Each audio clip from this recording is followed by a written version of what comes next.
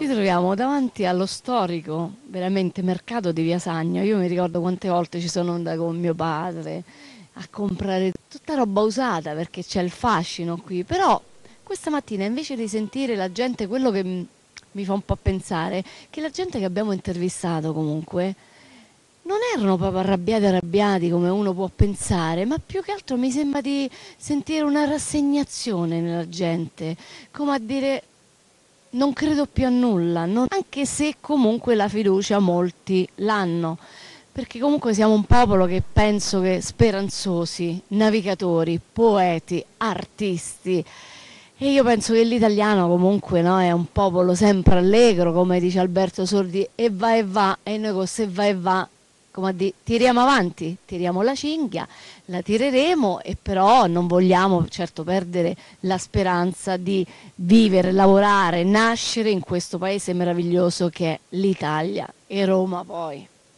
capitale del mondo, capitale del mondo. Però io vorrei leggervi l'articolo 4 della Costituzione italiana. La Repubblica riconosce a tutti i cittadini il diritto al lavoro e promuove le condizioni che rendano effettivo questo diritto. Ogni cittadino ha il dovere di svolgere, secondo le proprie possibilità e la propria scelta, un'attività o una funzione che concorra al progresso materiale o spirituale della società. E l'articolo 1 invece che dice l'Italia è una repubblica democratica fondata sul lavoro. La sovranità appartiene al popolo che la esercita nelle forme e nei limiti della Costituzione. Ma forse, anche se c'è un'emergenza, ma no, una riveduta a tutti questi articoli e fare in modo che questi articoli veramente uno possa dire oh è incredibile, ci ha preso in pieno.